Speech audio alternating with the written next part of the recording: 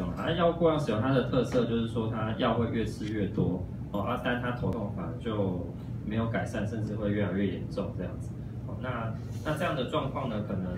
呃一个就是说它这它这个是一定还一定是建议说还是要有医师评估会比较好。哦，就是说它如果已经变成这个药物过量使用，就是要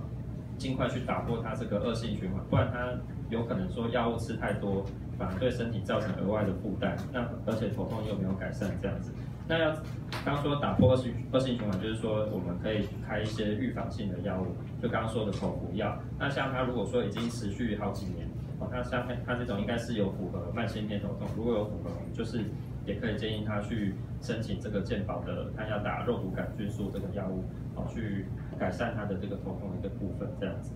所以其实他他这个状况，这个案例还不少见啊，就是很多以前没有那么痛，呃，以前没有没有那么常在痛，但是后来随着年纪变大，哦，痛的次数越来越多，甚至药越吃越多，哦，这种门诊还不少。那我们待我们待我们门诊之后，就是用我刚刚说的这些方式，用药物先调整，跟生活习惯的调整，哦，尽然后尽量